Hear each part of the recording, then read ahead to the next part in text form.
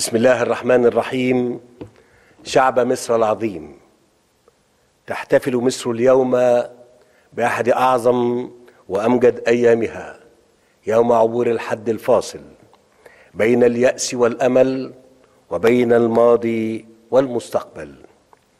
إن يوم السادس من أكتوبر عام 1973 لا يمثل فقط نصرا عسكريا باهرا حققته القوات المسلحة باقتدار بل هو تعبير فريد عن إرادة أمة وتماسك شعب استمد من تاريخه العريق صلابة وقوة لا تقهر.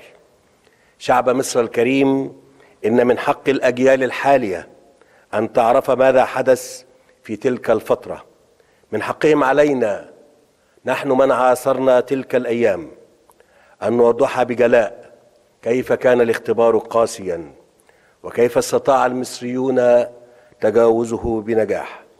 كيف تكاتف الشعب كله وراء قواته المسلحة؟ ليصبح الشعب بأكمله جيشا ليخرج من هذه الملحمة نصرا. يرد الاعتبار ويفتح الأبواب أمام استعادة الأرض وتحقيق السلام معا.